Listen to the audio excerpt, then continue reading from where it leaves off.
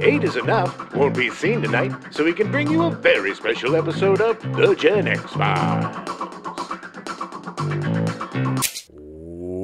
Welcome to The Gen X Files. I'm Jim. I'm Adam. And today's show is all about Battle Beyond the Stars. I like how we literally never rehearsed that, yet we do it the Yeah. same every time. Very well. It's it's uh it's ingrained. It is. It is. Take your, oh, oh, oh. Yeah, I know the sound effects are so great. Good lord. That's so great. So nice watching a rip-off movie that's actually not terrible. Well, it was a rip-off movie of a rip-off movie of a rip-off movie. That is true. It was very uh, incepted by John Sayles. But it was good. I mean, that's what you know. It was good. Yeah. it's not It the greatest movie ever, but it was good. Fun. Uh, take yourself back to 1980. Uh, March 1st, the Voyager 1 probe confirms the existence of Janus, a moon of Saturn. V'ger, remember? Uh, V'ger, yeah. Yeah. I'm going to go through that horrible thing again. Oh, Star Trek the motion picture. Uh, Voyager 1 has been operating for 44 years, 8 months, and 7 days as of today. You know, the actress in uh, Star Trek the motion picture actually shaved her head. That was a big deal back then. Yeah. She was a very beautiful actress, and everybody was like, she shaved her head. A woman shaved her head. And people lost their minds. Wow. That's dumb. Yeah. Anyway, Uh, Voyager 1 is the most distant man made artificial object from Earth. Uh, it's still trucking along, and apparently they still talk to it. They still are able to communicate with it. It's I talk to it every night. Weird. I know you do. hey, V'ger. Make my dreams come true. May 21st, Star Wars Episode 5 The Empire Strikes Back, the second movie of Lucas's at the time planned 12 movie opus, goes into wide release, eventually garnering, garnering over a half billion dollars in box office. Man, waiting at school to get out to go see that movie was the most difficult thing I've ever done in school, I think. Yeah. It was so Oh, I antsy. can imagine. Oh Yeah. my god, man! Because you know, I didn't know Star Wars was going to be Star Wars. I had the posters, Yeah. and I was like, I really want to Yeah. see this. I hear it's great, but you know, Empire Strikes Back was like, it was a Well, event. I yeah. mean, it was the event, man. You knew what you were going to see was going to be amazing. And it was, I can't even, the, the, the, yeah, it was I, st- I can still feel that feeling of like of anticipation. Yeah. May 22nd, uh, literally the next day. Didn't really feel that when I went to go see Battle Beyond the Stars. Well, yeah. well, you know, Lucas spent three years making Empire Strikes Back, and Roger Corman spent three months making Battle Beyond the Stars. For Corman, that is three years, baby. Yeah, oh, that's true, actually. uh, the next day, May 22nd, Pac Man, the highest earning arcade game of all time, is released in Japan. You know, it was called Puck Man Yeah. because we he do. looks like a puck. Yeah, we, It makes so much more sense. yeah. It's, uh, yeah, it was just tr- bad translation. Well, it, they also didn't want to make it into the F word because they could easily turn true. the They Puck could Man turn it into, into the, the- me Yeah. the beep the man. F word man. Yeah. Um, yeah, so there you So go. Pac Man it is. No pucks, no Puckman. No. no, that's a Pac-Man. No, Herbie Puckman. I guess Pac-Man kind of because he's packing it in, but Puck-Man was a lot No, I don't think it really had any meaning whatsoever. All right. I don't know. I don't speak Japanese. I don't know if that means something in Japanese. it was uh, called Puck-Man because he looked like a hockey puck. No, I know that, but I'm saying Pac, the Pac-Man part of it. Okay, this is going to be a three-hour show. It is because we're we're, gonna argue about this for the next two hours and fifty minutes. Just like being in, your, in the car with your parents during your long drive to grandma's house over the summer. September 8th, Battle Beyond the Stars premieres to cash in on the space opera craze. Battle beyond the stars. Uh, I gotta admit, it may have started as a cash in by the creators of the film, but I really enjoyed it. I thought it was fun, it was well written, definitely worth your time. Well, you had real talent behind it, unlike Yeah. Yes. uh, the other abominations that Star we talked Crash, about. Yeah, which is nothing. Yeah, they didn't Yeah. just. Re- John Sayles didn't just read the novelization of Star Wars and and and make the movie. He actually watched uh, Akira Kurosawa's Seven Samurai two movies. and the Magnificent Seven to rip off and make a Star Wars. Yeah. which Star Wars was basically a rip off of Akira Kurosawa's movies as well. It's a very deep yeah, it, it's uh, it- rip off situation going on here, but they all kind of went to the source Yeah. with which is Kurosawa. Well, you you base your stuff off of good movies, more than likely your stuff's going to be good. It also shows that heroes and legends transcend language and country and time, and you can make whatever story you want, whether it's a western or a space western. Yeah, ex- exactly. Uh, so, Battle Beyond the Stars is the brainchild of Roger Corman, king of the B movies and finder of incredible talent. Hmm, Like me. Yes, yes. Uh, Jim's first job was working for Roger Corman. Oh my god. We I worked in the office for half of it and I worked on a movie for half of it. And so I'm going to have a very little insider look as we go through. How how long did you work for him? Uh, it was a summer. it was a summer internship. Oh, yeah, that's right, 'cause you were uh, junior and senior year, and then they offered me a job, which I I should have taken. We should have taken. Yeah. Yeah, as uh, we will evidenced and, and be proved, uh, so many people that Roger Corman worked Oh with my God. have become huge names. But my, I, it would have broke my mom's heart. She wanted me to graduate right, from college. right. So. I understand that. I understand that. You got to do it for your mom. So previous to 1970, when he started New World Pictures, uh, Corman had made a name for himself as uh, producing and directing a ton of movies uh, in the 50s and 60s. oh yeah, schlock cinema. Oh yeah, totally. I mean, everything was made for 10 bucks, and and it all made money. I mean, at the end of the day, Yeah, it was like uh, American Independent AIP. AIP Pictures. was huge. he was a Um, big big part of that. uh, what was the other one? There was another one that was like the. There was one. Was it was AIP the one with all like the gimmicks, like the, the Yes, the yes. sapping seats and the Yeah. smell-o-vision and Yeah, they were the the uh, grandfathers, I guess, of schlock cinema of like of gi- gimmicky stuff. It was carny stuff. It was just like you know adding a little uh, electrical jolt to the seat. You know, Yeah. it's not not super safe uh, all the No, time. You just no. had like a live wire on a seat that gave a person a shock during you know when the guy was getting electrocuted. Well, you know, they spent money on that, so they didn't spend money on the movie. Just have a guy like burning a tire back back behind the thing as the tires burned out on the on the uh, the Derby movie, the car Yeah. derbies. yeah, it was. Yeah, I mean, it was anything they could to get people to, to get in and watch the movie, Mm-hmm. uh, and they didn't really care about the the quality of the film. Oh, no. as long as it was made cheaply and made money. Yeah, and, and look, it, that stuff was fun, man. Kids Yeah. loved going to that schlocky cinema because you got to see a couple of crappy movies, and you got a bunch of candy and popcorn and stuff, and Yeah. and then there'd be that weird stuff happening to the seats or whatever. So you know, it was a, it was like it was a great way to spend a Saturday afternoon. Yeah, yeah, it was. I I mean, you get in, especially if it's hot. You get in, hang out in the air conditioning. There's also a really good movie from uh, I think like 90, 93 or so. Yeah. with John Goodman called Matinee that that shows uh, he played Lawrence Woolsey. Yeah, who I believe was an AIP. Or at least had a company. It Yeah, it was- a- it was similar. like I- American Treasures, or you yeah, know. yeah, it was. It was essentially about that time and and and doing the like, you Yeah. know, shocking the seats and exactly. Or doing all that stuff. you know, the the rise of the drive-in theater. So Yeah, it's like yeah. you had all of these um, theaters that needed content. I mean, it was kind of Yeah, like now. yeah. You know, it's like you needed a lot of cheap content to get the kids the butts in the seats. Right, right. Yeah, especially at that time because the the growth of uh, drive-ins and and the movie just theaters in general was so huge, and and uh, anybody could go in and just start making movies because they'd play them. Exactly. I mean, it was a great opportunity for people like Roger Corman, Yeah. who really took advantage of that, and uh, he never lost a dime. No, That guy no, is the no. most successful filmmaker and producer of all time. And Yeah, the, yeah. the most ind- the most successful independent filmmaker. Of Oh time. yeah, yeah, for sure, for sure. Uh, so after directing a ton of movies and starting his own company, Corman took a break from directing. He said, Directing is very hard and very painful. Producing is easy. I can do it without really thinking about it.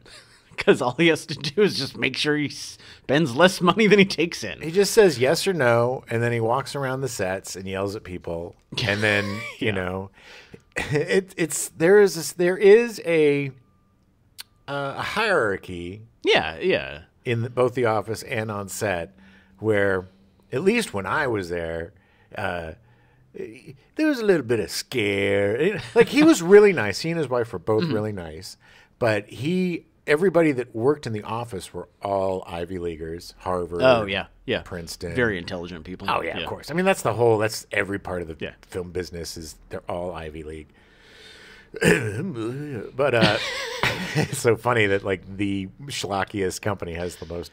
Hey, I, But like Rodman Flanders worked there. Yeah. uh, he works with uh, Conan O'Brien. You Mm-hmm. know, when I was there, uh, there was a ton of people that were there. But yeah, it's like your job isn't safe, especially right. they reward you if you work really hard. It's it's like a boot camp kind of, you know. I mean, if you bust your ass and you go the extra mile, you get rewarded. But if you just do just enough or not enough, Right. you're gonna not be asked back, or you're gonna get yelled Yeah, at, yeah. and stuff kicked at you, and Right, right, right. Totally, totally. Uh, so he established New World Pictures in 1970 after having a long string of successful films working for other people in Hollywood. Uh, New World Pictures was one of the most profitable movie companies ever, having turned a profit in its first 11 pictures they produced, making a profit of $3.2 million in its first financial year. It was a lot of money back then. Yes. and that's a lot of money for a. Usually, a, a first a company, a film company, is going to lose money for the first five or ten years. Yeah, for a long time. You know, time. it's it. You got to establish yourself. Yeah. You know, you got to find the right stuff. Blibbity bloop. But Yeah. he just was like, I got this figured out. And Yeah. he's a very, very smart man. And he may not be the most creative man in the world. No, but he's an extremely smart businessman, and he knows this business. Right. He knows the business of show, Adam, better than just about anybody. I mean, Yeah, yeah. you know, you don't get to be that successful by being a dummy. right. You know, he knows who to hire, he knows who to surround himself with, and he knows how to make 'em- how to make money. Yeah, yeah. He, he definitely has figured out the process of how to make money in Hollywood. And he is just an insane uh, talent finder. Yes, yes. Uh, his second year, they would show a profit on 11 of the 12 movies he produced. Uh, and obviously, they would make enough money, they'd make up for any losses, so it didn't matter. The company always made money, period. Uh, Corman said New World was. The most successful independent film company in the country. If you count American International Pictures as a major, we're the best of the cheap acts. Yeah, it, it just at the end of the day, he knew how to spend just enough money to get people to sit down and not complain about being terrible. Well, he also knew where to cut the corners. And he also knew how to get hungry people that were smart and could cut corners and make it look like you did stuff without cutting corners. Right, right. Uh, yeah, Corman, like you said, Corman would take risks on people. He'd buck the trends of Hollywood to try and make good movies as cheaply as possible. His company would make a series of successful biker and nurse exploitation movies, giving a start to a number of cinematic artists. Oh, yeah, man. Them biker movies. oh. Bad boy bikers. Yeah, uh, Barbara Peeters, the first woman to direct a biker picture, went on to direct Humanoids from the Deep for Roger Corman, as well as episodes of Remington Steele and Falcon Crest. Ooh. Uh, Curtis Hanson, who directed Sweet Kill, another biker picture for Corman, would later direct L.A. Confidential. Among a thousand other things. Among, yeah, a million other things. Uh, George Armitage, whose directorial debut was under Corman, later directing Miami Blues and Grosse Pointe Blank. Grosse Pointe Blank, great movie. Great movie, absolutely great movie. Uh, Jonathan Kaplan's directorial debut, debut, who Debut? debut. Jonathan Kaplan's directorial debut, who later directed The Accused, uh, nominated for a bunch of Academy Awards. Uh, these all eventually led to a series of women in prison films, uh, yeah. another genre that he exploited fully.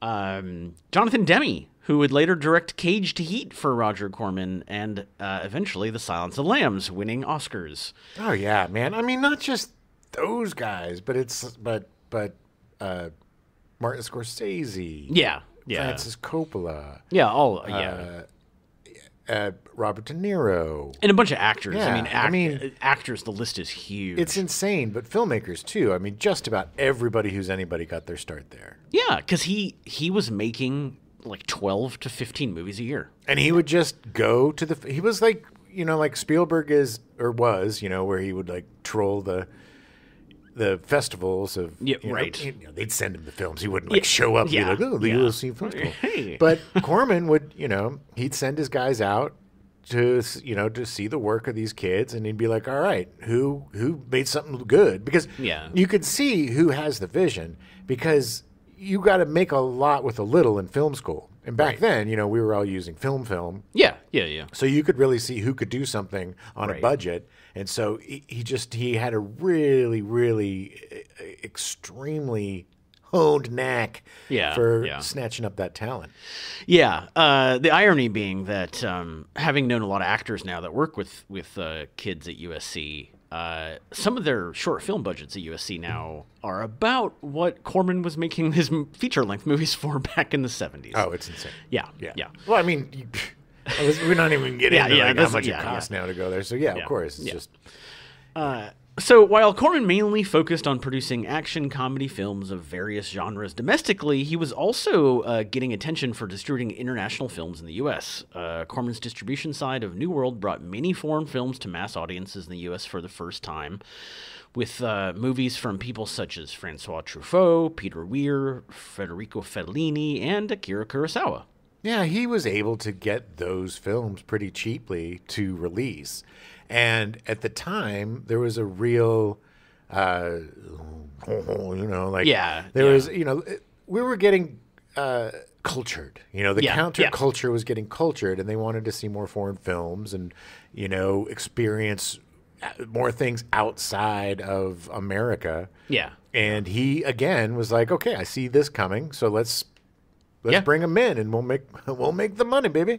Yeah, yeah, exactly. He also uh, brought in the Polish film Fantastic Planet, the animated movie, which is one of my favorite animated movies of all Oh, time. that's great. Uh, fan, absolutely fantastic movie. But it would not be in the U.S. if not for New World and Roger Corman. In 1975, Corman financed Death Race 2000, which led to a string of car chase films Oh yeah, which which also then also started uh, beyond doing his own movies started the whole genre like the bigger pictures you know like Smokey and the Bandit and all these movies were made because they saw how much money Corman's car chase movies were making they started with these. Um, uh, what's it called when the cars smash into each other? Demolition Derby Demolition Derby movies. Yes, they started with these Demolition Derby Yeah, movies. yeah. and then they were like, "Well, what if we took it in the future?" and made it, you know. yeah give it give it more of a genre and give it a purpose yeah We get David Carradine. yeah yeah I mean it's not I mean Death Race 2000 is amazing it's one of my favorite movies All of these films are fun because there's real talent behind them. You know, Yeah, there's a yeah. lot of really talented cats that are that are using their noggins to make these really interesting films with not a lot of budget. And Yeah, yeah. and you can tell. I, I mean, we're going to get into it, but you know, Cameron really cut his teeth. Yeah, yeah. Oh, yeah, yeah, yeah, yeah. I mean, he had to. But it's not. I, the fact is, is that I, this shows that not only was Corman respected, but these people just wanted to work.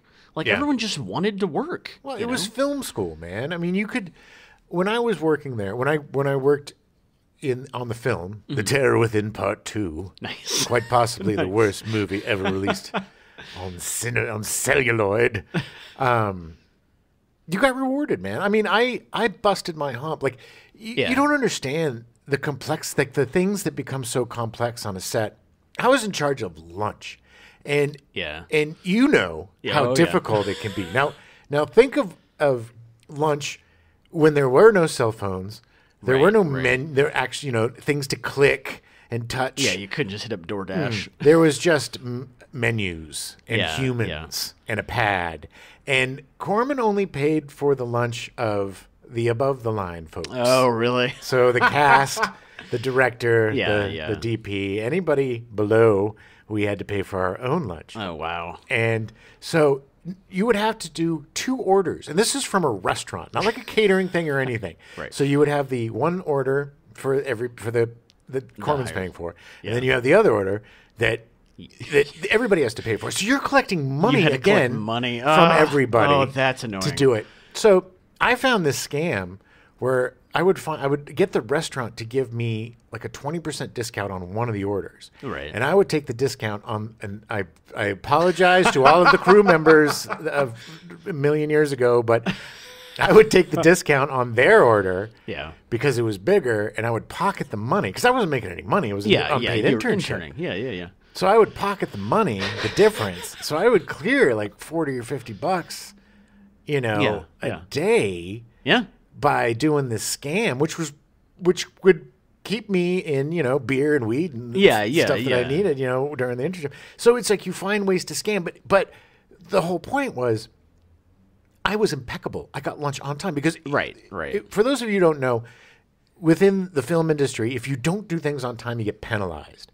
And if you you should. Right. But Yes. in a Corman film, a penalty is death, baby. Yeah, because yeah. you know that's so much money, and so the one time that I didn't do the lunch, I got you know Yeah, popped yeah. off on another run or something, and some other poor bastard had to do it. It got so messed up. I come back and the and, and we had this second second who just kicked shit all the time. Like, Yeah, when he got mad, kicked stuff all over the place, and he's kicking stuff all. I see him down the thing kicking stuff, and I'm like, what? I look, oh, lunch, and I'm like, well, you ba ba ba, and then you know, next day lunch is perfect, and I think that's why they offer me a job is because Right, I was competent, I got something done. You know what I mean? It's like, No, totally, totally. and that's all this business is no, hundred percent. is competence showing up on time and doing your job because it's a bunch of left brain kooks, man. Yeah, it's yeah, a bunch yeah. of creatives. You get a bunch of creatives together, it's like herding cats. It's Yeah. the worst and the best. But yeah. I mean, that's what it was like back then. I mean, it was a constant state of fear yeah. and and just non-stop. I mean, it was exhausting. Well, sure, of course it was. I and that's true. I mean, that's not just true with, with Corman. I mean, you're right. It's, it's with everybody. Because I, I before I moved to LA, I worked on an independent movie in Iowa, and I, in the morning, I would work on a TV morning show, 4 a.m. to 12:30, and then I would go work as a PA on this movie because I knew that most of the crew was from LA, and I was going to move to LA after the movie was done. Yeah. And I impressed them enough that the second day I was in LA, I got a job on the TV show House because I impressed them during this independent movie where I was not making any money. But you just kept diagnosing people so accurately with these really Yeah. very, very unique Yeah, and, yeah, and, yeah. and not very typical diseases. But the fact is, is that it works, and and and that that mode works, and it, and if you do want to make it in Hollywood, you have to be willing to sacrifice for a while. Yeah, you gotta you gotta eat your pride, Yeah. and you gotta just put your head down and work. Yeah, yeah. And I mean, it, I that, that's with anything, you know. I mean, you Of put your head down and work, you're gonna get ahead in life. If you if you if every job is a stepping stone and you, you're pained to be there and it's way beneath you, you're not gonna get anywhere. no. People aren't gonna want to work with you. Yeah, no, totally. It's it's really, you know, I, mean, it is all who you know in this business. Yeah. In, in in the film business, it, it is all who you know, and it's all taking. Uh, it's it, it's all taking advantage of opportunities when they come. After when I when when they offered me the job, and I think it was like craft service or something on the next Yeah, yeah. movie, but it was a job, and and the second was like you'll be doing my job in Yeah. six months, Yeah. and you could be directing in two years. Yeah, yeah. You know, if yeah. you play your cards right, you know, you got your shit together, and and I was like, great, but then I didn't do it, and I figured, well, Yeah, whatever. yeah. I mean, when I come back, I'll just get a job with Corman. right, right. You know, and then but no, that's a year later, and yeah. they forgot. Like who? who who What was that? Who are you? No, we don't need you. We got a whole bunch of unpaid interns. Why would we hire you? Oh, I haven't thought about that movie in years. Exactly. so it's just like yeah, it was a big wake up call. Yeah. But it's just the nature of the Yeah. the business. It is. It is. What have you done for me lately, Adam? Yeah, well, exactly.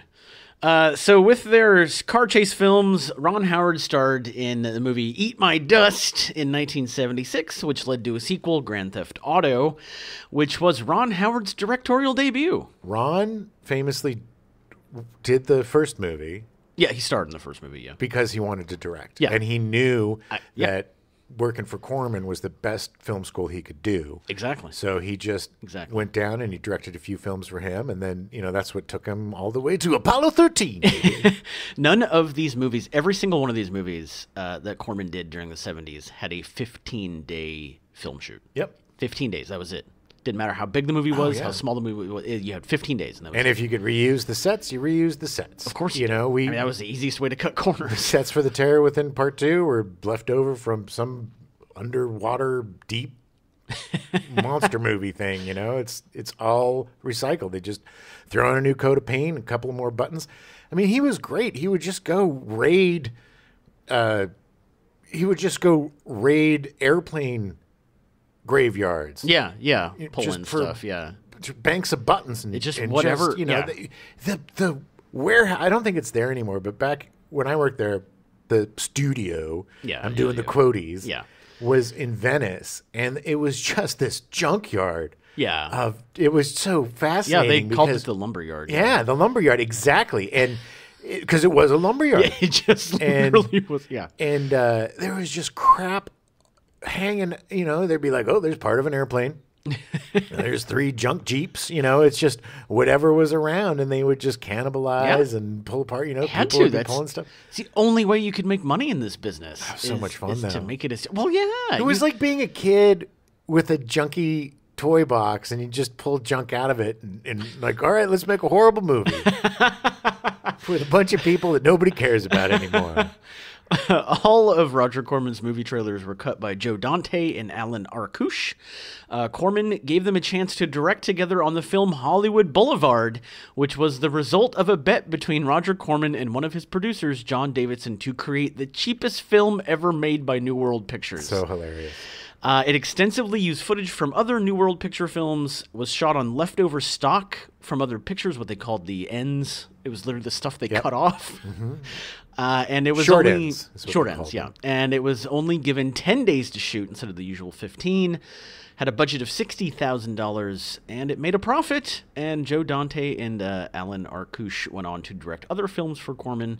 Arkush directed Rock and Roll High School in 1979. Classic Absolute great movie. with the Ramones. Yeah, yeah, it's a great movie. I literally the whole time I was writing the script, I had Rock and Roll High School stuck in my head. Yeah, and the poster was, I think, drawn by Dick Dar- D- Dick Di Bartolo from. Yeah, I Mad think you're right. Yeah, yeah, yeah. I think you're right. Uh, Joe Dante directed Piranha in 1978. Written Another classic. Another amazing movie. Written by newcomer John Sayles, which was a critical and financial success. I love John Sayles. he Oh, he's is great. such a and he's a great actor too. Yeah. he is just so understated, and he is one of the grandfathers of independent cinema. Yes. I mean, his yes. uh, Return of the Secaucus Seven, Yes. Yes. which he made. uh, yeah. Uh, yes. Oh, I was just go ahead. No, it's okay. Was, yeah. Uh, Sayles then wrote The Lady in Red for Roger Corman, released in 1979 and directed by Lewis Teague, who went on to direct Cujo. So, with the success of Star Wars, Corman wanted to cash in on this new genre, the space opera. So, he turned to John Sayles for a script about an epic space adventure. Sayles had been working on his own directing debut, a film he also wrote, financed from the money he made writing scripts for Corman, called The Return of the Secaucus Seven Yeah. Uh, which is thought to have been inspired by the more popular, or to have inspired the more popular film, The Big Chill. Oh, Big Chill was a 100% rip off of the Yeah. Seven. Because the Secaucus Seven was a much more realistic, Yeah. uh, gritty indie version of you know seven old uh, rabble rousers from the '60s Right, getting together and you know what have we become? You know, Yeah, examining their lives after Right. you know writing whatever manifesto they did in college and stuff. It was a very interesting movie with a lot of really good performances, and uh, they just basically ripped that off for. yeah. Yeah. The, Big Chill. The Big Chill put in a, a bunch of Motown records and made it about a suicide and a bunch of yuppies who gave nobody gave a crap about it. yeah. It was it was great though because John Sayles he had learned from Corman like he he specifically put the movie in one location in a, in a house because he knew he could shoot there wouldn't have to build sets. Like it was it's all about that Roger Corman film school Mm-hmm. of making a movie as cheaply as possible. Oh, yeah, you learn so much. I learned a lot just by being there. You Yeah. know, like oh, you can use a smoke machine to create saturation, and it'll ruin your life if you're a production assistant because you'll have to sit there for 12 hours a day wafting smoke and you'll be blowing black boogers out of your nose for the next three months. I think I got black lung from Janusz Kaminski. Wow. Oh, yeah. Yeah. yeah. Son of a bitch. Sayles would later go on to write and direct indie darlings throughout the 80s, movies like The Brother from Another Planet. If you have not seen The Brother from Joe Morton is amazing in that. It's a great movie. Uh, he was also in Terminator 2 is the guy that was Skynet guy. Yeah, yeah, yeah. He's a great actor. That film is just great. You got David Strathairn playing the Man yeah. in Black, looking yeah. for him. It's just a really fun. It's like ET with a dude. You know, basically, it's, it's like true. A, yeah, it's like yeah. indie ET with a with a except instead of an alien, it's a black dude. Yeah, David Strathairn and John Sayles worked together a lot. Uh, he was in Return of the Secaucus 7 as well. That's where he got his start. Yeah, I think it was his first, or, or very early on uh, movie for him. But uh, Sayles also did uh, Matewan, which is a great movie, uh, and Eight Men Out uh, about the baseball scandal in the like 19 The Chicago Black Sox, baby. Or They whatever, don't White yeah. Sox no more. They're Black No, Sox. yeah, they're the Black Sox. Shoeless Joe Jackson. He wasn't part of it, but they said he was. Yeah, it's a great movie. It is It's a great great. movie. It is great. And John Sayles, Uh, I think he's in it too. But he's one of the announcers. Yeah, yeah, yeah, yeah. But he's in it. Yeah, he's a great actor. I, John he- yeah. Cusack's in it. Oh, Oh, Cusack's such a good fantastic movie because it's a very complicated issue. You know, these guys were making no money. The owners were making all the money. The players were making dick. Nickels, and, yeah. Yeah. And so, you know, they get this opportunity to actually make a ton of money, you know, and it's, I I get it. And You- somehow they're the bad guys. yeah. yeah. Yeah. yeah, yeah. Uh, Sayles also continued to write. He he wrote The Howling and an early draft of E.T. when it was known as Night Skies. if you can find Night Skies, it's an awesome read. Yeah. It's a really Uh, interesting. listen to our ET episode for more info on the most famous movie that never got made, yeah, Night Skies. that spawned like 80 movies from Yes. Gremlins to E.T. to uh, Sophie's Choice. It's an interpretation, but it's there. Yeah. It's there. Uh, in true Corman style, he didn't give Sayles much time to write the space film, which he titled Battle Amongst the Stars, before they changed it to Battle Beyond the Stars. Uh, to work quickly, Sayles did what every good writer does he borrowed the plot from another movie. I'm going to go on record saying there's never been a successful movie with the word amongst Yeah. in no. the title. That is why it was changed. Planet amongst the apes. Planet. War amongst the stars. Yeah, exactly. See? Yeah, no, it doesn't work. Uh, so Sayles borrowed heavily from the Akira Kurosawa film Seven Samurai and its Western remake, The Magnificent Seven, made in 1960. Uh, he would name the Akira from planet Akir, the peaceful people who are going to be destroyed in Battle Beyond the Stars after Akira Kurosawa. Clever. Yeah, it's an homage. it's Well, he's not ripping it off. It's an homage. Oh, yeah. Well, see, I gave him credit. I made the planet after him. Uh, but I, I honestly think that's one of the reasons why the movie works so well is because the plot is good. Yeah. and the plot is proven to be successful Yeah. in two other movies. Yes, yes. It's the third iteration, or probably the 30th, but it's like at least the third. Third. You Uh, know? it would later get remade in Italian as a Gladiator movie, uh, actually starring um, uh, Sybil Danning uh, in 1983 as a Gladiator film, essentially the exact same plot. Well, yes. Yes. The plot of a town needs some heroes. yeah, yeah. It's just uh, the poor people need help. It's basically uh, the Three Amigos is the That is Magnificent true. Three. that is true. That's actually very true. The Not so magnificent Three. Uh, the film would be Carmen's highest. Carmen, Jesus. Carmen San Diego. Carmen San Diego. The film would be Corman's highest budgeted film at $2 million, which is $11 million in today's money. That's a huge risk for him. Huge. He probably lost some sleep over that because, Yeah. you know, Star Wars was only like three and a half million. Yeah, it wasn't. It wasn't. It wasn't much more than No, that. he. But he knew he needed to spend more money on it because he knew that it would that it would a make more money, but 'cause b had to look good. Yeah, because he saw, saw what happened with Star Crash. Yes. You know? along with probably four other Yeah. movies before that that were just crap. And Star actually, yes, it definitely Star Crash because he was the reason why Star Crash got distributed. So he learned from his mistakes or other people's mistakes. Yeah, stay away from Marjoe. Oh, poor Marjoe. Oh, Marjoe, go preach it to the choir, Marjoe. preach it to someone who cares. uh, although the budget was $2 million, Corman did spend a large portion of this on two of the actors that were in the movie Robert Vaughn and George Peppard. Honestly, half of that was real well spent. But you know, fucking I, I gotta be honest, yeah. Vaughn looks so bored. The so extremely time. bored throughout the entire movie. I've never. Was he on Quaaludes the entire time? Was he on? Did he just come from the dentist? And he had been drugged to get Yeah. a, a, a molar removed. I mean, the guy is like half asleep the entire time. Yeah. Or he's frowning the entire movie. He's just looking up. Yeah, the, He's just kind of looking. the fight at the end where they keep cutting to the close up of him, and it's the same shot over and over again of him down, looking up, frown, down, look up, frown. It's like, what was the direction? All right, you're in the waiting room of your doctor's office. You keep seeing the door open, but they don't call your name. So you're frustrated. So they keep opening the door and they don't call your name, Robert. So keep giving me that kind of frust. Ooh, that's good frustration there, Rabbit. You look bored and frustrated. Now, pew, pew, pew. Okay, fire the laser. Pew, pew, pew. Ooh, that's a little bit of life to you. Ooh. he did come alive when he died. That was the only time his performance ever like had Yeah. anything to it was when he was all covered in goo and dying. Yeah, when he crashed and he was yeah, it it was really interesting because it was a very one note performance. Yeah, Very, and that note was boring. Robert Vaughn, I'm sorry, you're a great actor, and you were in the original Magnificent Seven playing the exact same part. Couldn't you just brought a little charisma with you? No.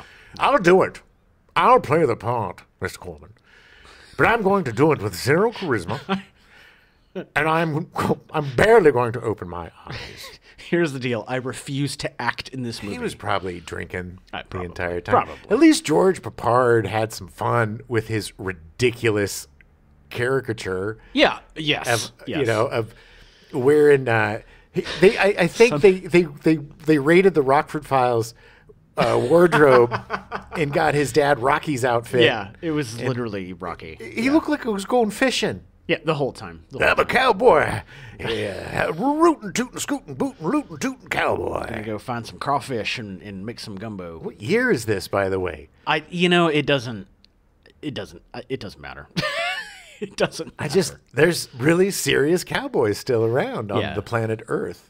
Uh, also, when you're rewatching the movie, uh, definitely watch for the fact that Robert Vaughn literally never stands the entire movie. He's sitting the entire film. Ro- uh, M- Mr. Corman, I have another a demand in my rider. I don't want to stand in this movie. I want to sit for the entire film. So no acting and no standing. No acting. Okay. A, no acting. I will act like I'm in a doctor's office waiting to be seen. And B, no standing. I need to sit. And I need a donut pillow for my hammies. I got me some hams. He probably shot his entire thing in like half a day. I wouldn't even. I wouldn't be surprised. He was probably embarrassed. I mean, come on. I mean, the guy was such a great. I yeah. He's a great actor, Yeah. man from Uncle. We'll talk about him more. You know, yeah, yeah, yeah. He's yeah. Uh, so the Australian director Richard Franklin was attached to direct originally. Uh, he had directed the movie Patrick in 1978, a science fiction movie that started started the whole Ozploitation craze. Uh, it was a whole thing, uh, uh, cinema in Australia in the late 70s, like with um, know, like Oz is an Aussie, yeah, not like no, Wizard not of like Oz. Wizard of Oz. No, Why is it spelled O Z? that's how they spell it. I don't know. But Australia isn't spelled with an O. I don't your get Australian Australians. I, friend. I'm not because they're kooks. They're a bunch of kooks. Call your one Australian friend and Oh, ask you'll him be why. like, hey, hey, it. yeah, yeah. okay. Yeah. uh, Richard Franklin would later go on to direct Psycho 2 in 1983. The Step down, baby. amazing follow up to Psycho. Yeah. Uh, however, uh, Richard Franklin Franklin did not direct Battle Beyond the Stars. He was replaced by Jimmy T. Murakami, a veteran animator who had previously been an uncredited co-director on Corman's Humanoids from the Deep with Barbara Peeters. Ooh. Yeah. That's uh, a really fun movie, too. Humanoids from the Deep is a really great movie. Uh, I shouldn't say great movie; it's a fun movie. Yeah. yes. Let's use our adjective Yes. wisely, Adam. Uh, he was nominated for an Academy Award for Best Animated Short Film for The Magic Pear Tree in 1968. Uh, Murakami would later work on a sequence for the adult animated film Heavy Metal. Uh, Which one do you know? It was called Soft Landing. It was the um, with the car, I believe. Oh, okay, yeah. yeah. Uh, he would uh, later create the super hit cartoon Teenage Mutant Ninja Turtles. He didn't create the comic strip, though. No, did he? just the, the just the series. Oh, Yeah okay. but it was all his his animation style and stuff. Uh, yeah, yeah. Uh, Roger Corman and special effects supervisor Chuck Comisky initially hired James Cameron as a model maker for his studio after being impressed with his short film Xenogenesis, uh, which Of course, he called it Xenogenesis. Nerd. James Cameron is a nerd, totally. Uh, they asked him to create a design for the hero's warship. While other designers were using mainly geometric shapes, Cameron reasoned that since the ship had a female AI called Nell, it should have female curves and two mammary like engines. It's actually kind of clever. I Yeah. mean, not the boobs, but No, but it has- the it has- and stuff. Like it has yeah, a reasoning. It has behind thought behind it. Yeah. It. it just shows that Cameron's clever. I mean, he he's very good at Yeah. at at facts. I mean, he's good. Uh, when asked about this by producer Roger Corman, Cameron called it a Spaceship with tits. Corman immediately liked it and put him in charge of the model on the spot. I love it. You're in charge of the model. I want those boobs. And now make one with a wiener. And now I want one with a big butt. A big old juicy butt. Mmm, yeah, Cameron. Make me some ships. It is it is a very different design than all the other ships. Uh, it's very interesting, uh, the ship design.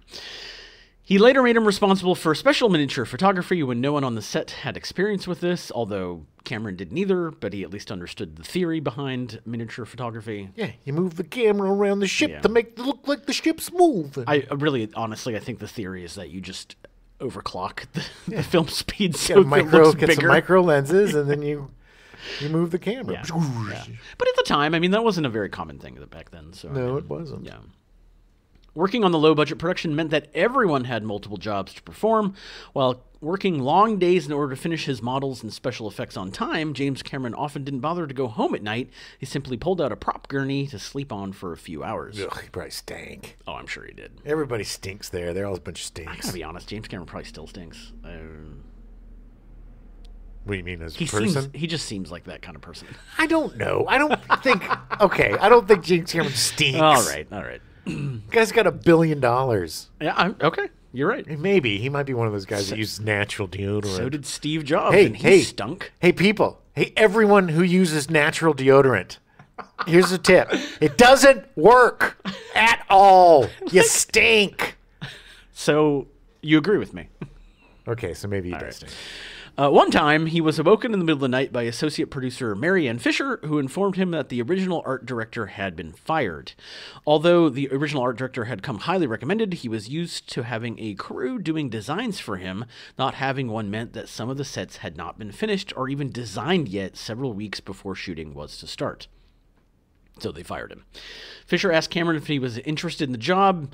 Cameron had no precise idea what it meant, but he answered, Sure. and immediately fell asleep again. He was offered a salary hike from 200 to $300 per week, but successfully negotiated for 750 since that was what the original art director had been promised and time was running out. That's a lesson for all of you. Do not undersell yourself. That's what we're taught to do Yeah. in this business, and that's what we're forced to do in this business. Yeah. But when you got these babies over a barrel, use it.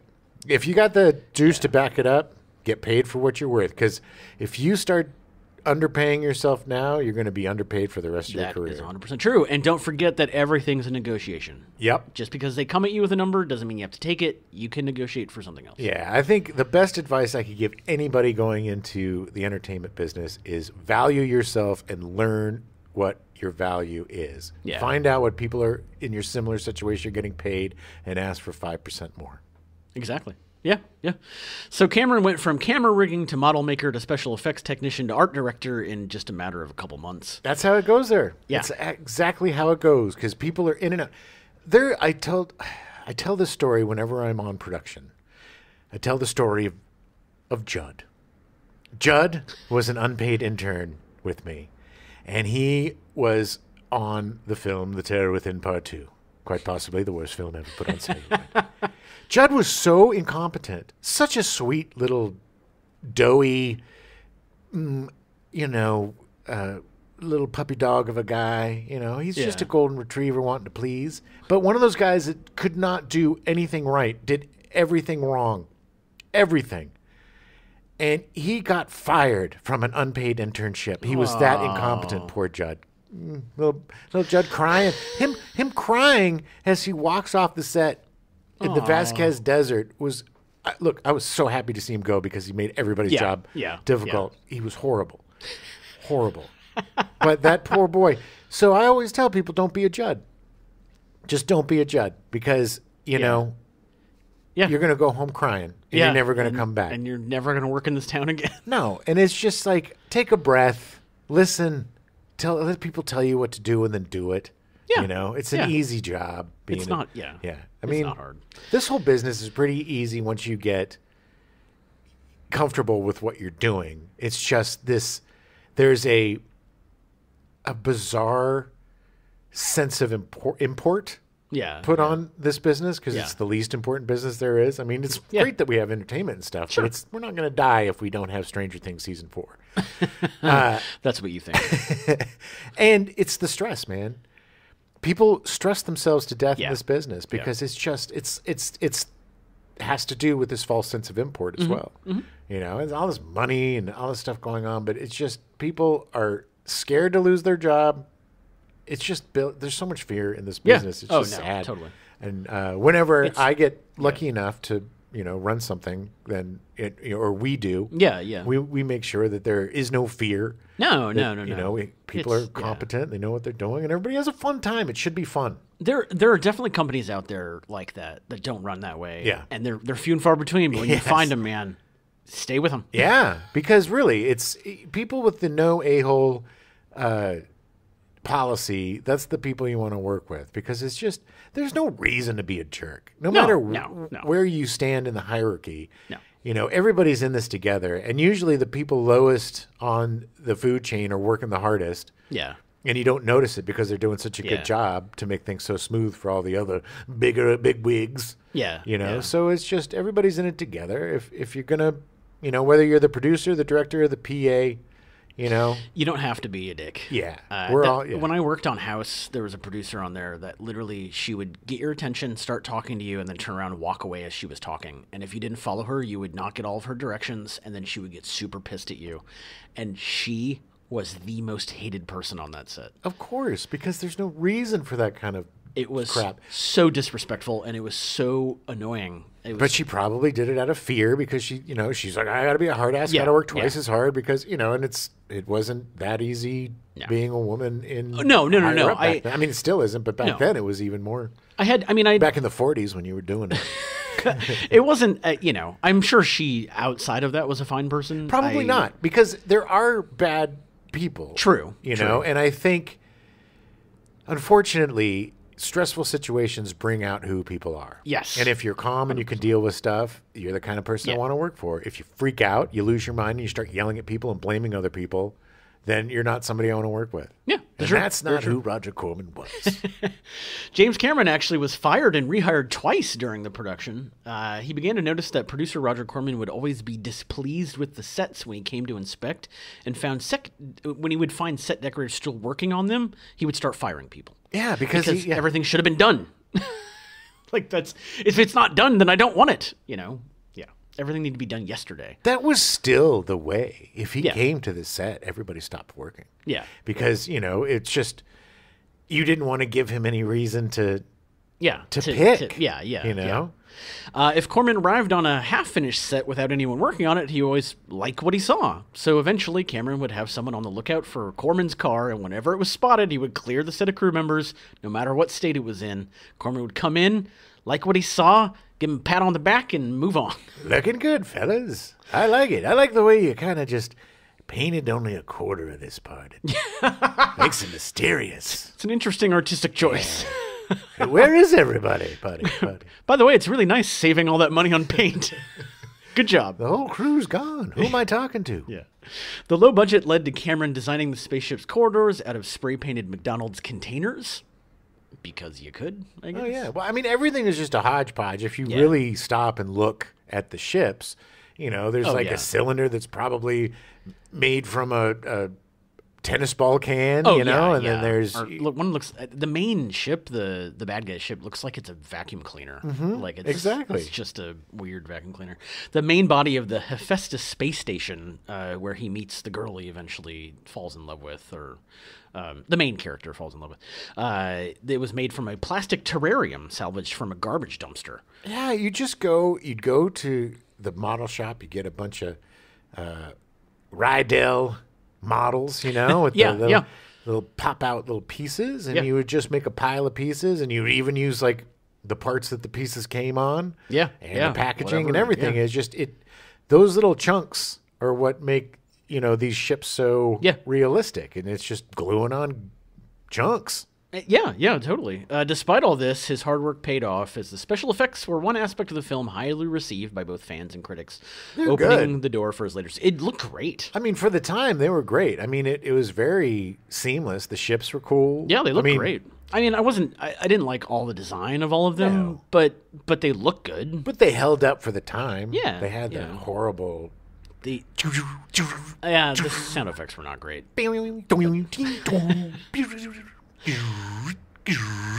Uh, James Cameron met Gale Anne Hurd on this film and would start a very successful partnership with her. Uh, he would direct, she would produce. They would make The Terminator and Aliens, eventually get married in the 80s before they worked on The Abyss in 1989, which would ruin their professional and romantic partnership. Because they stared into the abyss. Yeah. And the abyss stared back and said, Your marriage is a sham. Uh, according to, to Gale Anne Hurd, actor Bill Paxton was employed on the set as a carpenter, which is where she first met him before working with him and Cameron on Aliens. She said, so my first memory of Bill was him pounding nails and cracking everybody up. I mean, we'd be working at three or four in the morning, and he would be the one who kept all our spirits up. He was that person on and off the set.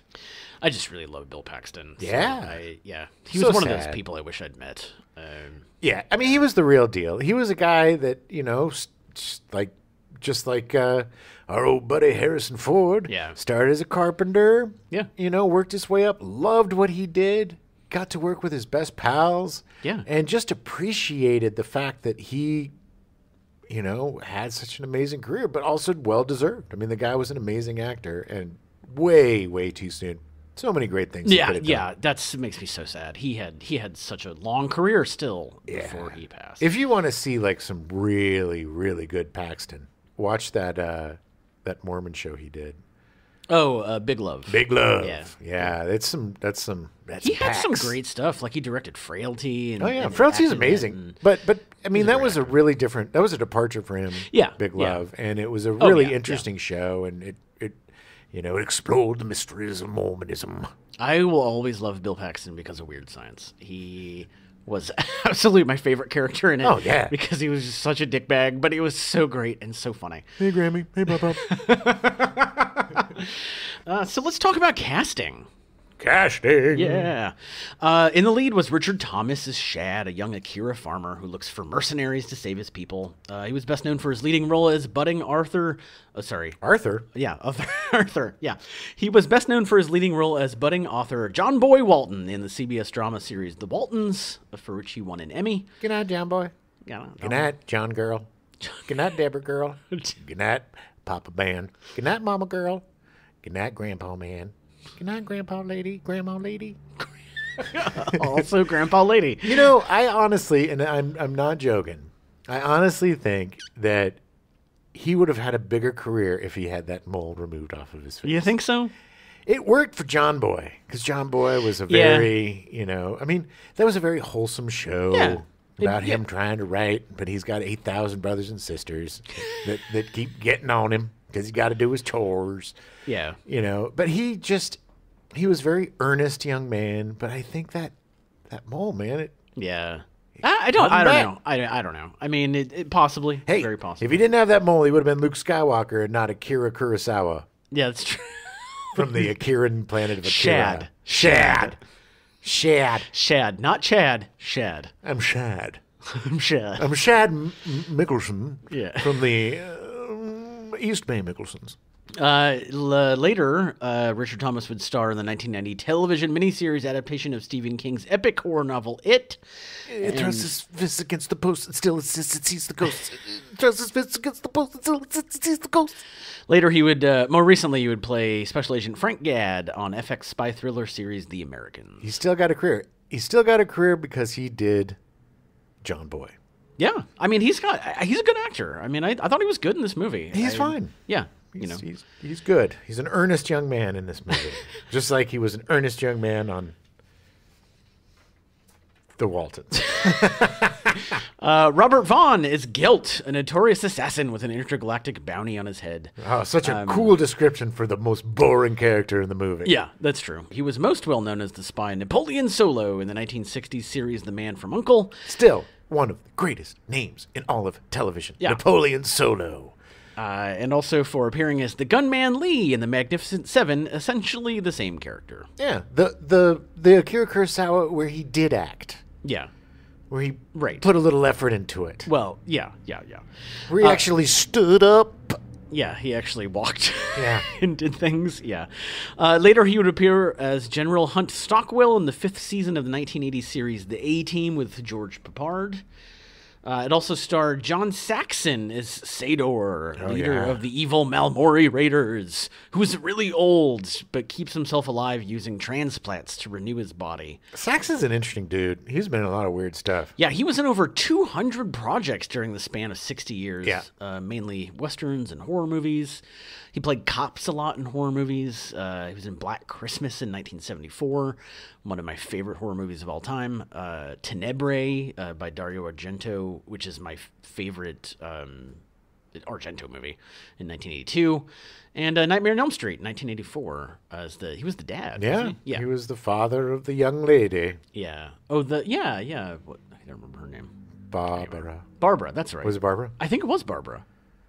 Uh, anyway, maybe not. we'll find out when we do that in uh, October. That's true. Uh, George Peppard played the space, or not the, he just played Space Cowboy. I'm Space Cowboy George Peppard. He was the only character from Earth. Uh, he was defined by his many one-liners and Roger. who became Shad's good friend. Roger, I'll do it. But I gotta, I get to smoke and I get to drink whiskey out of my belt. I want a belt. Actually, I want that belt. Uh, have that that belt was rad, except for the one shot where it looked like he was peeing into the cup. yeah, but it had ice. That belt had ice, It had- soda, yeah. and whiskey. It was It like was- the perfect bar belt. it was pretty amazing. It was pretty amazing. It must have been cold making with that freon making ice right above his tallywhacker. Uh, the character was really interesting because there was kind, it wasn't the Confederate flag, but there was kind of a hint of a Southern flag on his ship. Uh, it, it, it just the whole thing didn't really make sense. It was dumb. It was It just like sense. it was almost as if it was the Italian version where they're like, Yeah. let's do a stereotypical uh, the cowboy in the Americas, and I Yeah. do the stereotypical um, uh, Italiano to make him a point. Right, right. Uh, Peppard was best remembered for his role as struggling writer Paul Varjak in the 1961 film Breakfast at Tiffany's. Yeah. And which I literally did not realize that was George Peppard. Yes, I mean he had a big career back Yeah, then. I mean yeah. he was a pretty big dude. Yeah. Uh, later, he would play Commando Leader Lieutenant Colonel and Colonel John Hannibal Smith in the 1980s television series The A Team. I love it when a plan comes together. It was great. I kept waiting for him to say that in this, but I realized it was before, before. The A Team. Yeah. That's why he looks so young. Yeah. Young. He was yeah. drunk. See, I think here's the difference. Robert Vaughn was a sad drunk, and George Peppard was a happy drunk. so when they true. got real drunk before filming and during, probably Yeah, yeah. allegedly, Yeah. we see the performances. We got sleepy Robert Vaughn sitting in his chair. I just want to go home. I hate it here. I want to be done. And then George Peppard's like, "Give me another hat and I'll give me my belt and I'm gonna drink and have fun." Uh, I, I will say in Robert Vaughn's defense that the character was written not very well. I mean, you kind of you kind of write the character into a corner. Like, what are you supposed to do with that? I don't know. Show some emotion. I don't know. But you you've won. Like you're literally it's like the end of his story. It's just not interesting. He's playing him bored because the character's bored. The only reason why the character's doing it is for a free meal and a place to sleep because he's made, you know, he's done everything and, and killed everybody Yeah. and nobody wants to work with him and blah, blah, blah. Yeah, But, you know, you don't have to be so bored about it. We get it. You could, yes, that's true. That's true. Uh, I do want to also point out that it is implied that um, uh, Sador and his crazy stellar, what the hell is it called? Stellar, the the thing that turns the planets into suns. Uh, stellar exchange, I think it was called. Um, Mm-hmm. Sure. or something like that. Yeah, uh, it's implied heavily that uh, in the movie that Earth uh, was attacked by him and that it was turned into another sun. Oh, no. Yeah. Uh, but apparently, they still managed to keep up the rootin' tootin' cowboy stereotype, Scoot, boot, boot, however long after it was that this happened. Yeah. Yeah. Uh, also, he, since George Peppard was one of the people that was paid very highly, like uh, Robert Vaughn, he was not in the movie that much. Like That's the whole he deal, was man. such a minor character Yeah, the reason why you get those guys in is because you give them little parts. You don't pay them to be the stars. You pay them to show up for a few days. Yeah. It just seems out of proportion, but that's you know, I don't. know. Nicolas Cage. Yeah, true. Uh, Darlanne Fluegel as Yeah. Nanelia, Dr. Hephaestus's beautiful daughter and Shad's love interest. she was a really good actress. Actually, she was Yeah. really good in To Live and Die in L.A. Yeah, yeah, yeah. she, this was her first major part, and, Uh, yeah. and she had a great career. Uh, she was in Once Upon a Time in America as Robert De Niro's girlfriend, uh, in uh, uh, Tough Guys, uh, playing Kirk Douglas's girlfriend. Played a lot of girlfriends. Uh, and she live, live or die in L.A. as Ruth Lanier, the love interest of Secret Service agent Richard Chance. And in 1986, she portrayed Billy Crystal's ex-wife Anna in the buddy cop action comedy Running Scared. yeah, back when you could be wives or ex-wives, and that was pretty much it. She had a she played lead parts and other stuff, but I mean, yeah, it but was. that's kind of what it was back then. It was awful. It's indicative of how Hollywood was just kind of crappy back in the day. Yeah, I mean, not and then once she hit thirty, then you were the moms and the grandmoms. he became the ex-wife instead of the girlfriend. Yeah. Uh, Sybil Danning as Saint Exmin, uh, a Valkyrie warrior looking to prove herself in batter, battle, as or as they called it. Hand the- batter, quite uh, in the pages of Penthouse magazine. That's true. Uh, this was her first film role, uh, at least her first American film role. Uh, it would lead her to become what they called the Queen of the Action Pictures. Queen of the Bees. Yeah, it. Yeah, uh, she was in a lot of B movies. A lot of uh, prison movies, ladies' prison movies. Yeah, stuff like Caged Heat and Hercules in 1983, Malibu Express and Howling 2, Your Sister is a Werewolf in 1985, and Reform Schoolgirls in 1986. Uh, she did a lot of uh, a lot of nudity, a lot of nudity. What? In fact, uh, leading to that, the wardrobe department had a difficult time keeping the top of her costume on and had to re- resort to using band aids to prevent said top from slipping off. Yikes! Uh, because it really wasn't a top, it was more just straps. Well, there was a lot to hold in, and they weren't. It wasn't yes. a lot holding it in. Uh, that being said, she was the only actor to win an award for the movie. She won a, a Saturn Award for Outstanding Achievement. Yeah, by like the by sitting the most awkwardly uncomfortable way to fly your spaceship. It looks like she was on a bed of nails. She was at a 45 degree angle, could barely see No. the controls. Like, it made no sense. No, it I don't really understand the design for that. She was a battler. Um, and I do want to point out that the Saturn Award for her Outstanding Achievement Award just proves that nerds are just horny little boys. Ugh. Yeah. Well, at least back then. Now they're horny Old boys. people of all genders and types. Yes, yes. Uh, it did. The movie was nominated for four other Saturn Awards. It just didn't win any of them.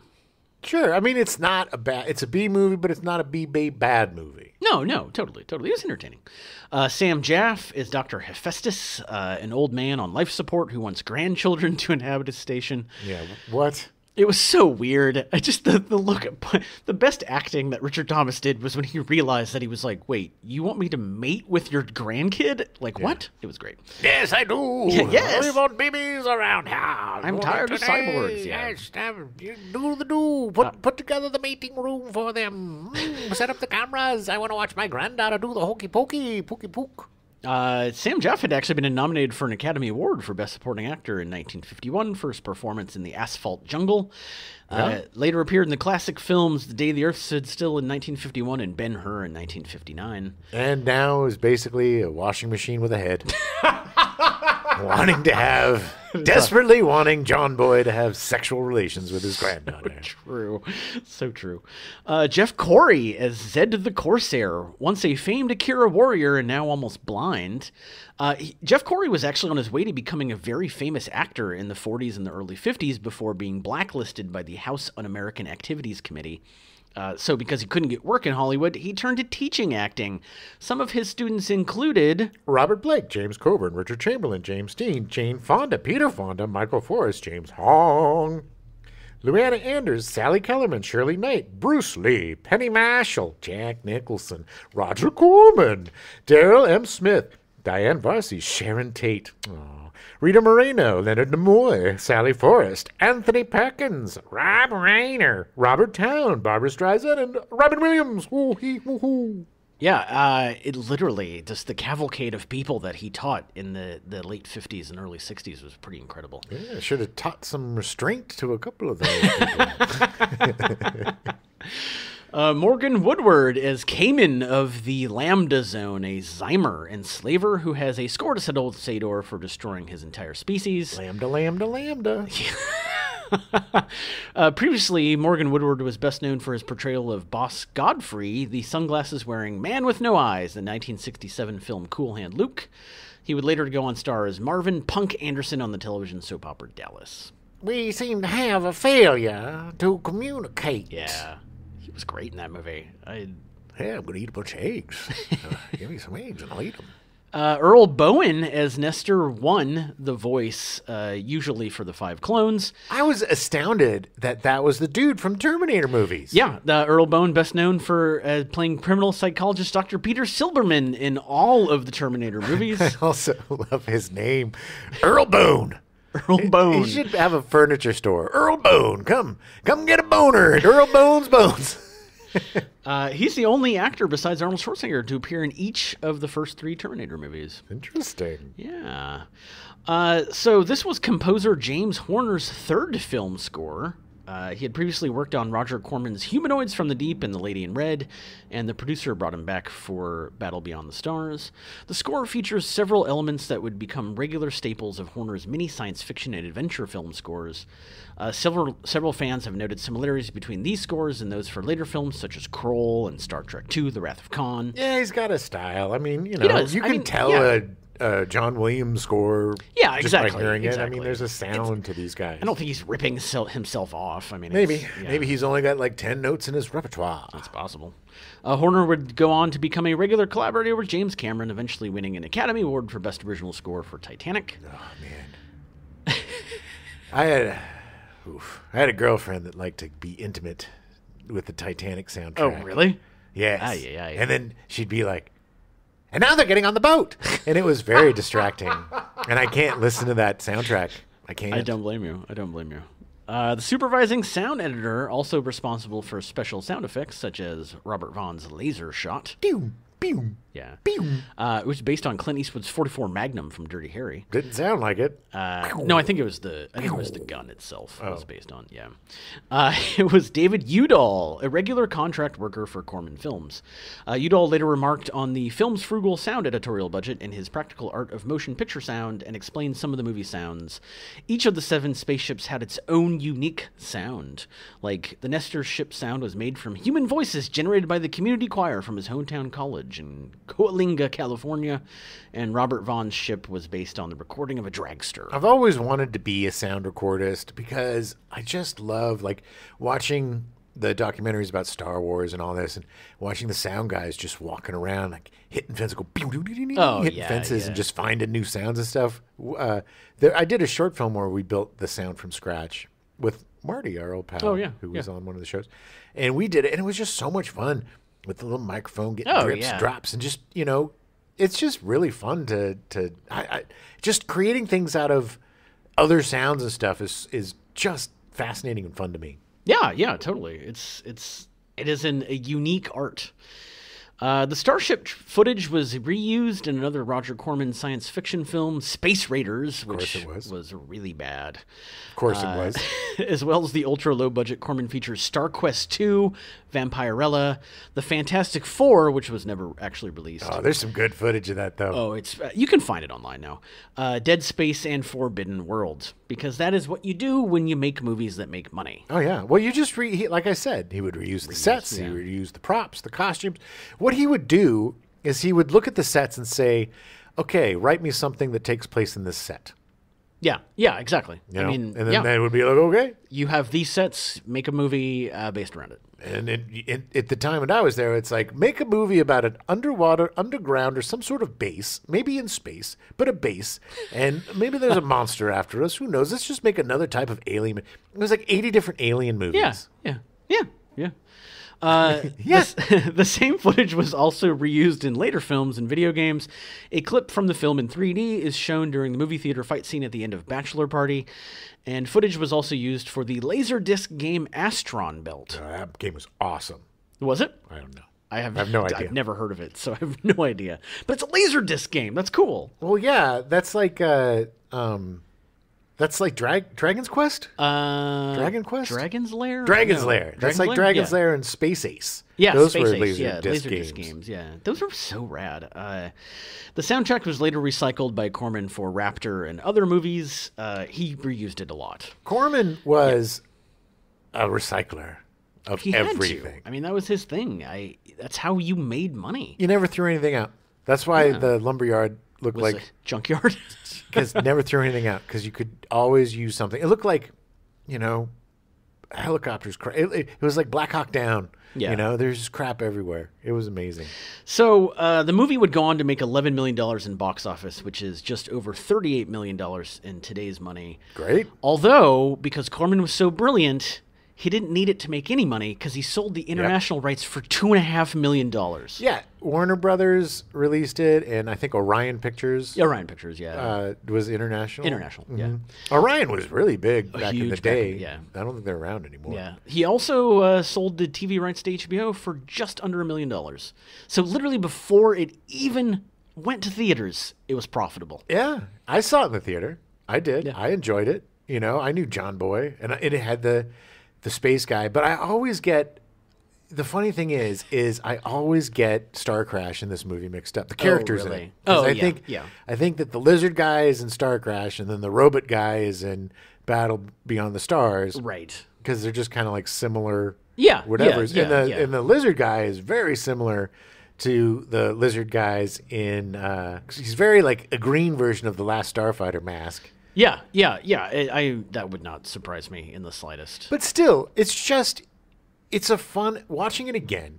It was really it was a fun movie. It's mostly just a space battle movie. Yeah. Eighty percent of it is dogfights. There's my only real critique of the movie is that there are some action sequences that go on for just a little too long. It's not a great movie, but it's Yeah. by no means a bad movie. And in terms yeah. of our our Star Wars ripoffs, I think it's in the top tier. Yeah, I would You agree. know? I would agree. Uh, you know, I don't count Sp- Spaceballs because that's a you know that's a it's satire. an intentionally yeah. rip-off movie. Yeah, yeah. which you know of course it's the best but but in terms of all these forgettable you know uh, the black hole i mean all of these movies these science fiction movies Yeah. that came out around the same time they weren't necessarily actual rip-offs of star wars no, no. many of them were with their Yeah. with the laser swords you know and their hairy monsters and, droids and the and their- robots yeah. Um, they a lot of them had elements of it, but this one, you know, these Sayles smartly ripped off the source material rather than the source material. Well, and, and he but he made the characters interesting. I mean, even Robert Vaughn, you know, his backstory's interesting despite him not being interesting in the movie. But like, it's all the characters were well defined. yes, because they were well defined by Akira Kurosawa. But uh, but yes, Yes, and John Sayles. John Yes. Sayles is a good writer. John Sayles is a great writer. Yes. and within the parameters. And look, this is also something that was probably written in like five days. Oh, I would not doubt it. you know, you're not spending a year rewriting and rewriting on No. draft three of the script and getting notes. It's like you put this thing, and this is typewriter writing too. Yeah. This is Oh, you know. yeah, yeah. So it's not this, you know, it's it's a whole different animal, and uh, it's this was the golden era of Corman, which was uh, the early '70s to like the mid '80s Yeah, yeah. that's when he shined. He found he had the great talent. He had all the good Yeah. kids working for him, and it was just a, a, a perfect time for making films and a perfect time, you know, because uh, we were getting the home video market, so he's getting more stuff Yeah. going. And I think that's part of kind of what killed it is because they were they're making too much stuff.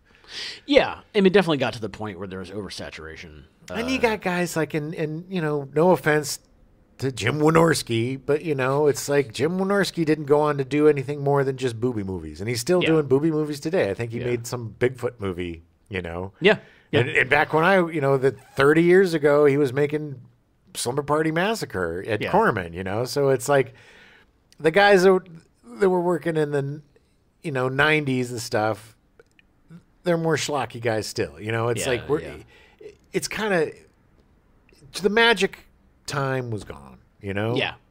Well, and it's and, and really in the in the nineties, that's when movies, it, late eighties and nineties is when the movies started just becoming too expensive to make. Like you couldn't you couldn't turn a profit because it, there just wasn't the the ceiling was hit of where you could go to make money on movies like this. Now they just need to create a green screen room. Yeah. And they can just make whatever. But I mean, Corman's got to be in his 90s. I mean, he's, He's not. 96. Yeah. Still kicking. Uh, he's still around. I mean, he's not working, obviously. he but- and his wife, though, around. were they were. I mean, this is he was in his I guess 60s when I was there, Yeah. and he was hands on, man. Yeah. Oh, and yeah. sharp as a tack. And his wife, even more so. I mean, she was more running the business than he was day to day. Um, But they were still running a tight ship. And, you know, one of the favorite things that we would do when we worked in the office is during our lunch, we would go and grab the, the box of tapes of submissions Oh, nice. and watch people's nice. short films and stuff. And we found some really fun films. We found this film called The Spirit of 76 Oh. it was like a time travel movie where people went back to 1976 and Yeah. I don't know if it was ever released. It might have been, but it was I- actually a really good really movie. familiar. Yeah, That I think really we familiar. recommended it. We were like, Yeah. "You got to look at this movie. it's actually yeah. really funny." but they weren't doing a lot of comedies back then. But still, it was just, you know, it was a really, it was a great place to work. It was a great place to learn. Yeah. And if you really put your head down and kept your eyes open, you know, I learned more in that summer internship than I did in two years of film school. Right. Right. You know, I learned how to. Everything I learned in film school was pretty much uh, useless now because it was all Yeah. film. Yeah, You know, I'm yeah. not putting on a white glove and cutting negative anymore. But all the stuff that I learned on Corman made me a good one man band. So when I was doing, you know, projects for people where you know you're shooting and cutting and you cutting corners, I learned how to make stuff for no money that would look like it was a pretty good yeah, budget. You know what I mean? yeah, yeah. exactly. You learn how to upscale by that, and Yeah, and that was just by, you know, learning the tricks of the trade. All right. Well, we're out of time, so we'll be back uh, next week with Spaceballs. Oh yeah, the best of the best. excited, Spaceballs. excited for that. Yeah. Yeah. May the Schwartz be with you. Goo-goo-gee-gee. I, I, yeah. We now return you to your regularly scheduled programming, The Bob Newhart Show, already in progress.